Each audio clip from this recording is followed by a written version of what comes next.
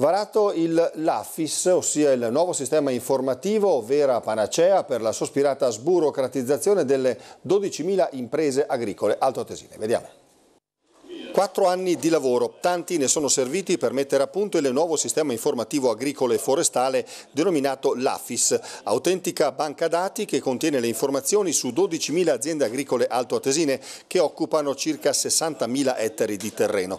L'Alto Adige è la prima regione italiana e una delle prime a livello europeo a dotarsi di uno strumento così innovativo per il monitoraggio dei dati relativi all'agricoltura, creando così una sorta di filiera informatica sulla catena animale e alimentare alimentare.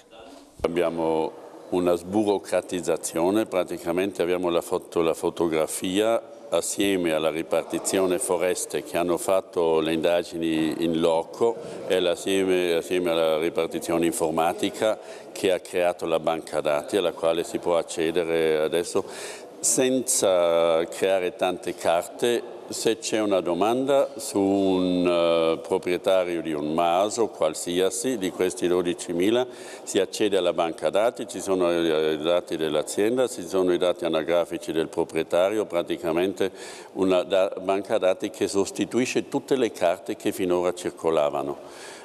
I dati non comprendono le superfici dedicate all'ortofrutticoltura che seguiranno in un secondo momento e sono stati rilevati sul territorio dai collaboratori della ripartizione foreste che li hanno catalogati tenendo conto di punti di svantaggio, superficie, tipo di coltivazione, pendenza e dotazione di animali.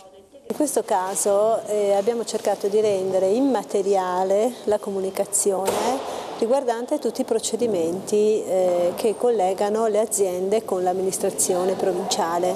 Quindi praticamente queste procedure che sono estremamente complesse attraverso il supporto informatico vengono sostanzialmente semplificate, sburocratizzate e rese immateriali. Questo consente naturalmente alle aziende di avere un approccio verso l'amministrazione più leggero, più facilitato e sostanzialmente sburocratizzato.